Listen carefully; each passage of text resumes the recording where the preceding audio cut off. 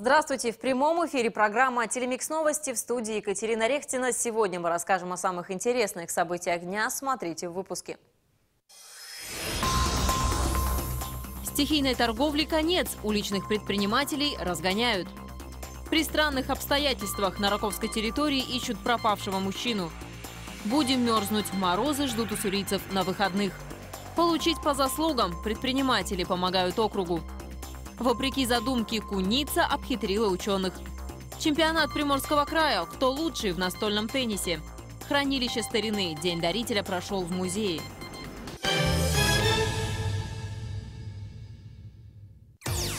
Новая акция от строительно-производственной компании «Главмонтаж Объединение». В честь Дня матери только для женщин, имеющих одного и более детей, до конца декабря квартиры по 36 500 рублей за квадратный метр в строящемся доме по Локомотивной 12. Подробности и проектная декларация в офисе компании по адресу Выгонная 2. Телефон 26 93 65. Стихийной торговли в Уссурийске конец. Продажа товара, что называется, с земли, получила довольно широкое распространение в нашем городе. Но после такой предпринимательской деятельности на улицах остаются горы мусора, да и продукция на прилавках сомнительного качества.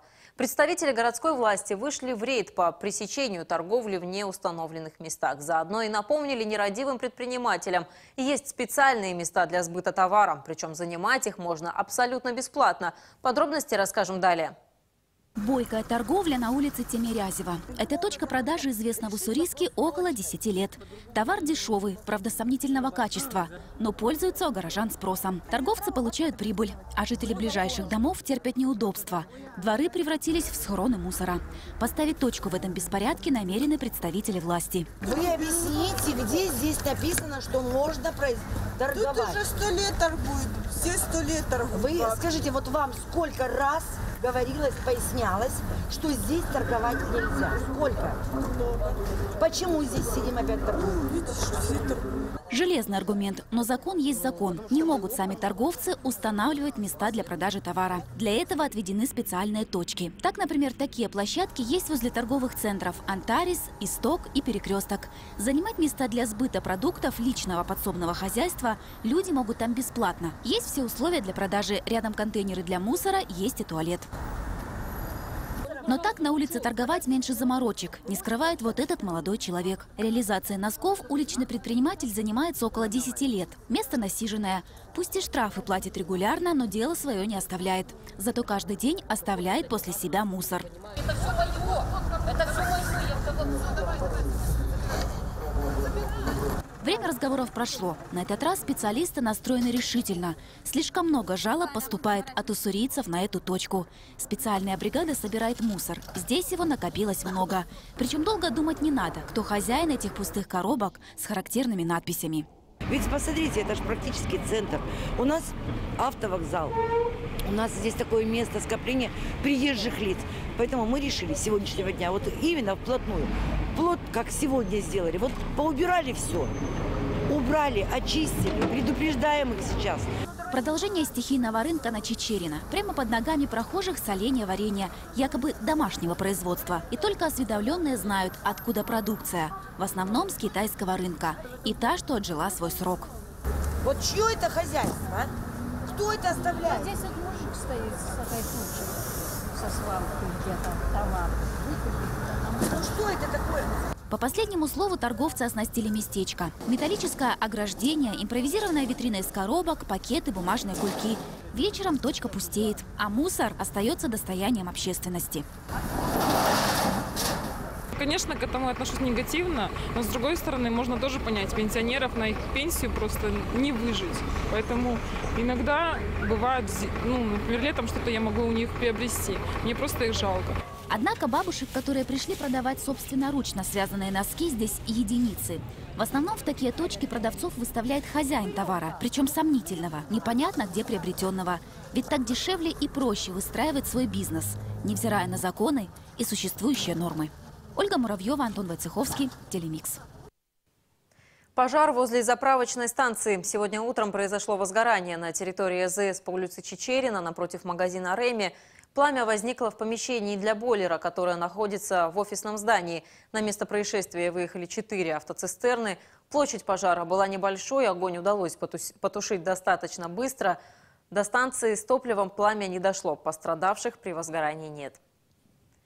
Полиция и волонтеры ищут пропавшего мужчину Григория Ващенко. На поиски по Раковской территории вышли 30 человек. Напомню, мужчина пропал в селе Боголюбовки Уссурийского района. Григорий Ващенко исчез после пожара, который произошел в его частном доме в середине ноября. Тела в обгоревшем здании обнаружено не было. На связь не выходил. Поиски продолжаются уже несколько недель. Волонтеры и сотрудники полиции прочесывают лесной массив, осматривают заброшенные дома, чердаки и мусорные контейнеры. Также проводят опрос среди местных жителей, дают ориентировку, передают информацию егерям. Особые приметы пропавшего – худощавого телосложения, на вид 42-45 лет, рост выше среднего, волосы русые с проседью, глаза голубые. Носовая перегородка искривлена влево, на верхней челюсти нет передних четырех зубов. Если у вас есть какая-либо информация о месте нахождения Григория Ващенко, просьба позвонить по телефонам, которые вы видите на экране.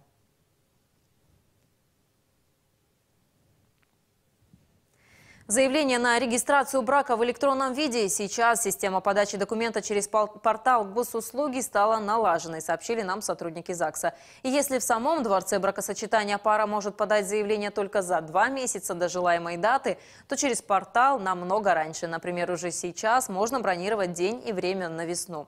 В этом большой плюс услуги, но, увы, на данный момент это не освобождает от необходимости лично встретиться с сотрудниками ЗАГСа.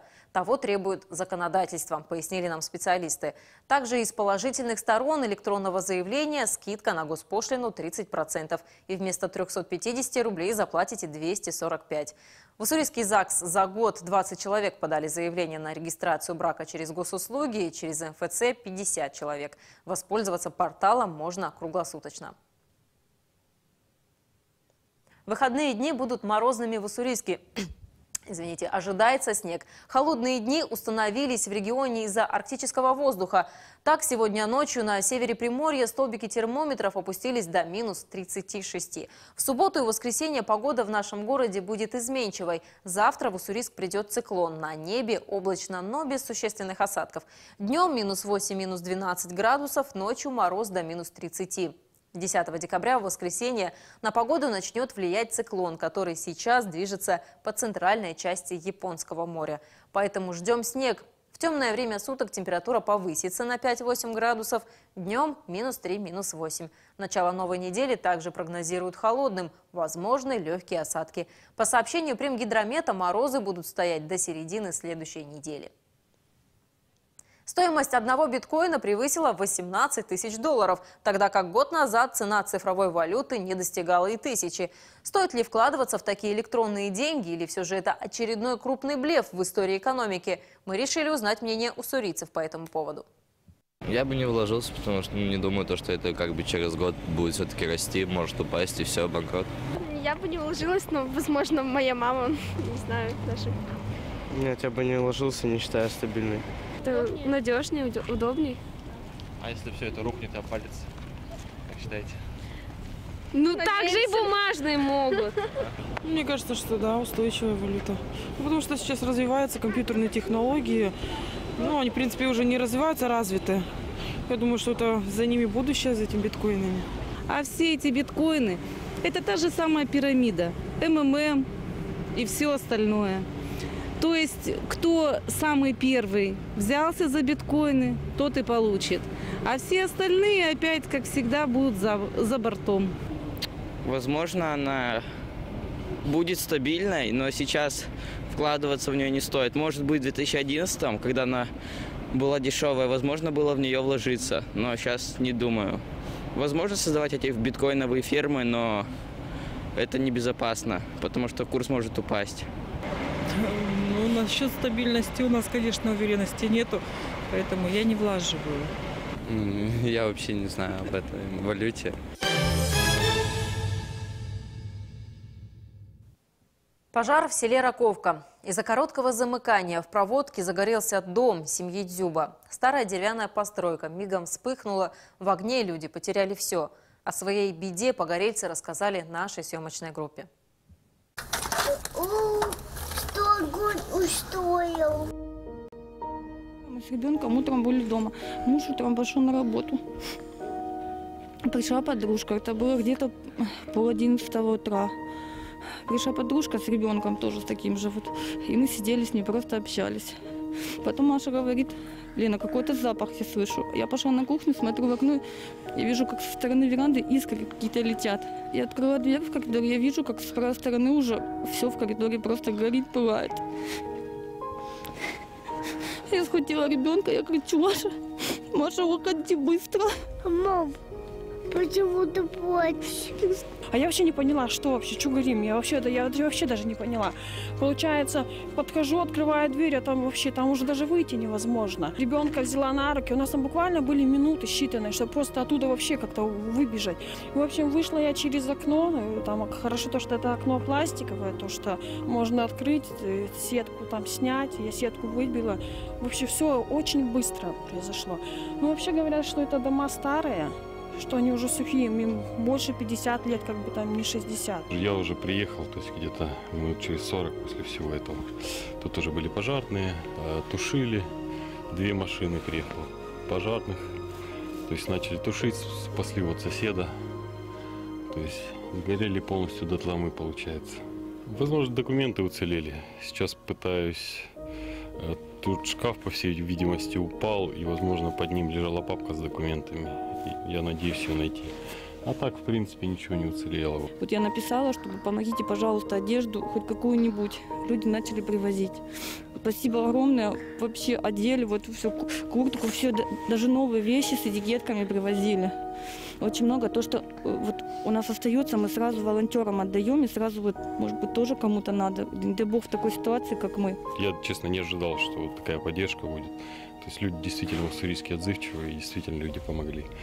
Спасибо им большое. Сейчас финансовые у нас, конечно, трудности очень большие. Ну, как-то как будем выживать, не знаю.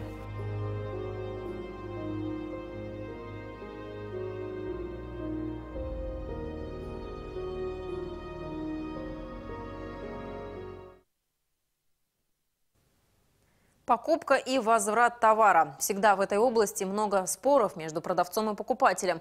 В каком случае вещь в магазин вернуть нельзя, расскажем в нашей постоянной рубрике «Телеконсультант».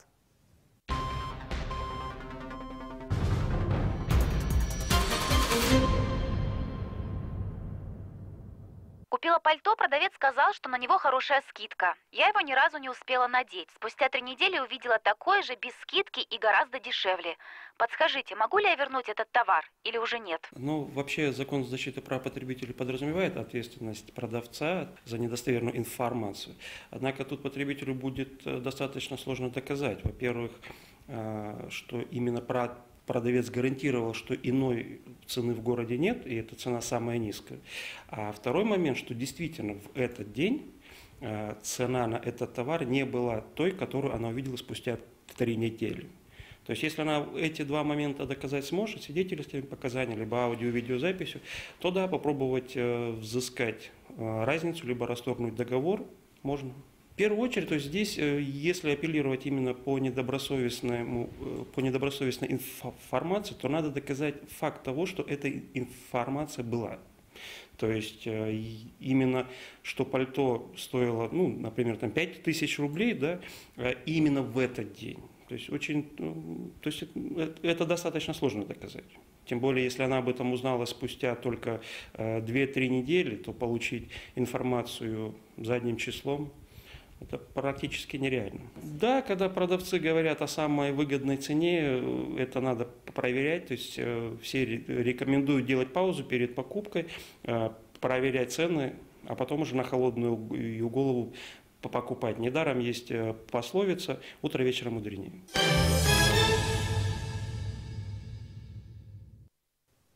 Впереди короткая реклама. Оставайтесь с нами, вскоре вы увидите. Получить по заслугам предприниматели помогают округу. Вопреки задумке Куница обхитрила ученых. Чемпионат Приморского края «Кто лучший в настольном теннисе?» Хранилище старины. День дарителя прошел в музее.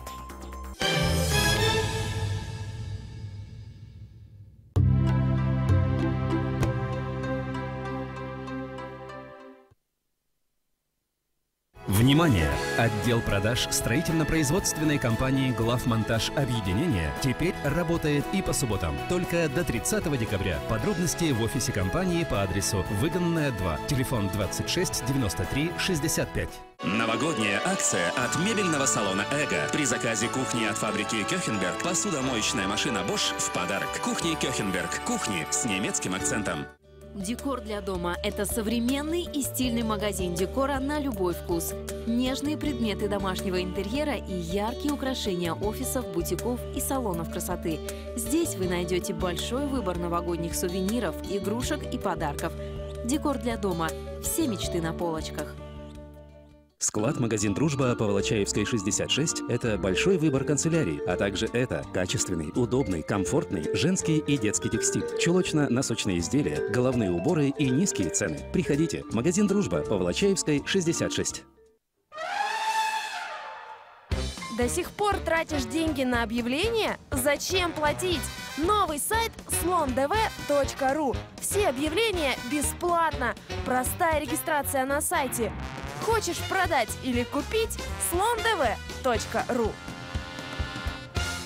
Настало время покупать подарки. Значит, пора в Евразию.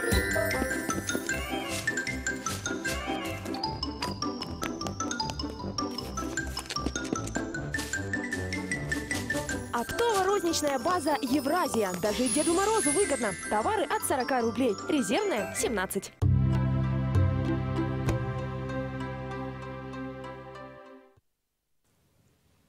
Смотрите итоговый выпуск программы «Телемикс Новости». Продолжаем. Чума не пройдет. Опасный для свиней вирус стараются не пустить фермерские хозяйства и частные подворья.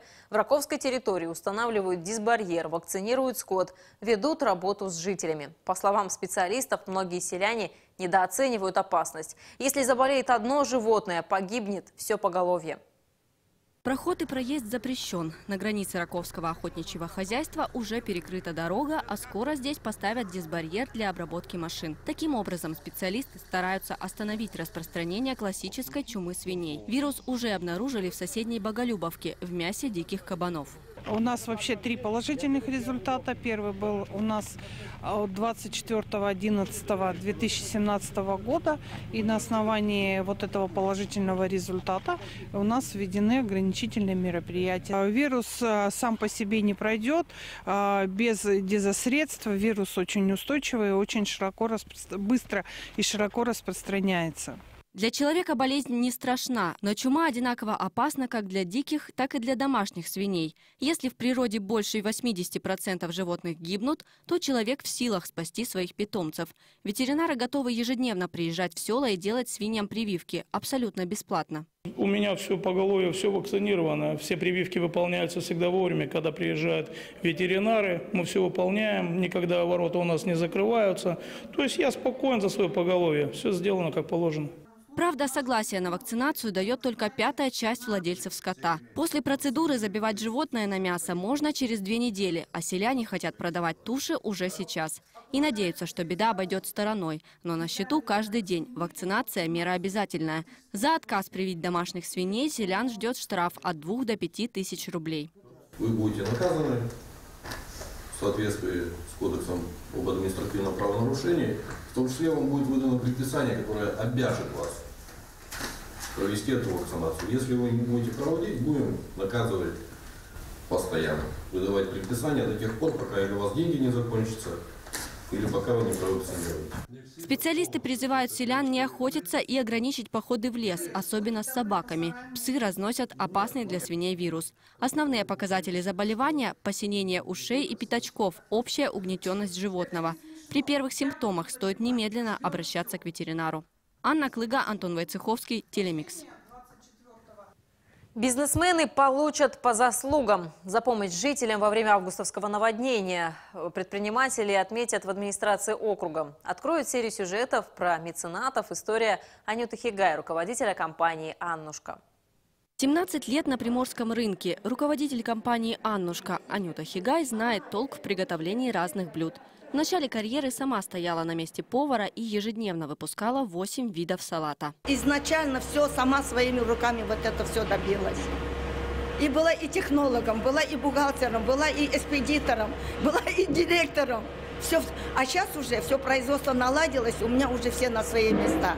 Сейчас Аннушка может похвастаться разнообразием салатов – майонезных и корейских. Больше 120 видов, каждый из которых успешно прошел сертификацию. Работают здесь только по предварительным заявкам. Рано утром повара начинают резать продукты, собирать по рецепту. И в 9 утра готовые контейнеры уже направляются на прилавки магазинов.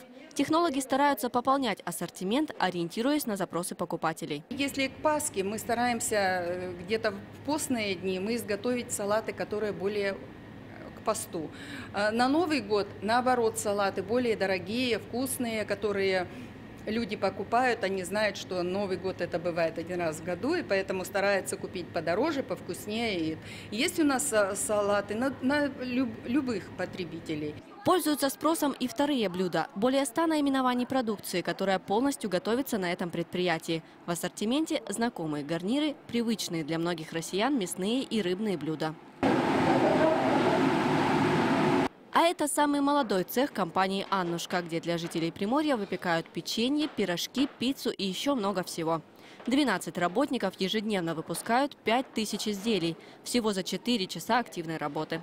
В распоряжении кулинаров современная техника, но где это возможно, предпочтение отдают традициям. А стараемся придерживать тех рецептур, которые пользовались наши мамы, наши бабушки.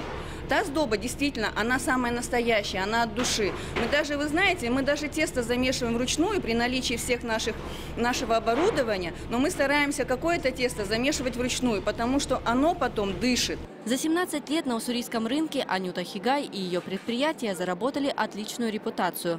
Аннушку знают как удачный проект, а ее руководителя – как лидера и мецената. Как предприниматель она э, принимала активное участие в ликвидации последствий чрезвычайной ситуации, вызванных обильным паводком в августе месяца этого года. А также на базе ее собственного кафе ежегодно она организует э, благотворительные бесплатные обеды для пожилых людей и инвалидов э, в декаду инвалидов и в День пожилого человека. Анюта Афанасьевна рассказала, делает это абсолютно искренне, ведь участие в жизни других людей оставляет отпечаток и в ее личной судьбе. Всевышний Бог, Он всегда мне помогает. И я тоже должна людям помочь. Я считаю, например, так. Понимаете, да? Вот из-за этого, видите, сколько я людям помогаю, и столько же сверху я получаю. Сейчас опытный предприниматель немного в стороне, решила уступить место молодым и передать свое дело детям. У Анюты Хига есть еще несколько успешных проектов, на которые и направляет свою энергию. Но компания «Аннушка» остается самой первой и самой родной. Анна Клыга, Сергей Флоренцев, Телемикс.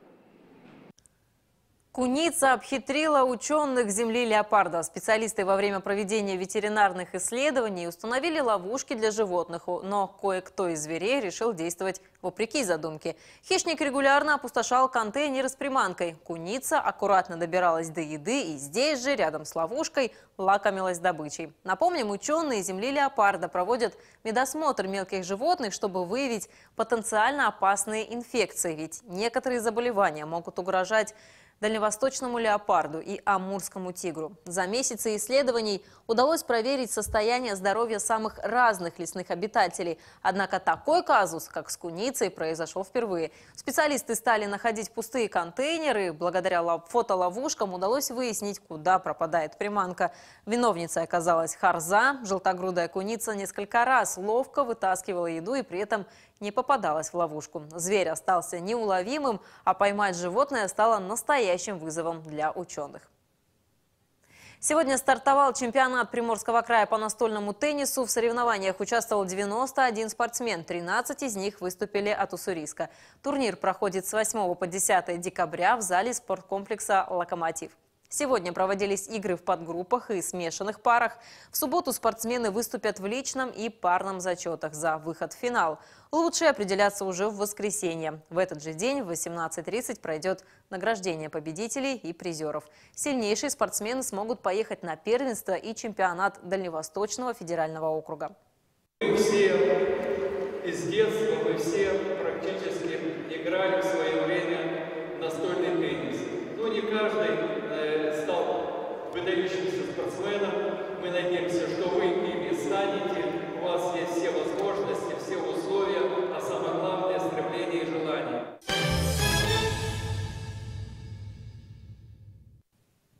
День дарителя прошел в городском музее. В хранилище старины собрались люди, которые помогают оплоту истории пополнять выставочный фонд. Не секрет, что 90% экспонатов нашего музея перекочевали сюда из уссурийских домов и квартир. Вот уже седьмой год подряд в декабре дарители собираются для общения. Пьют чай, рассматривают экспозиции, замечают свои вещи на полках и стеллажах, старые монеты и купюры, вазочки и статуэтки – Веткие книги и документы. В музее рады любой интересной вещице, которая сможет рассказать свою историю.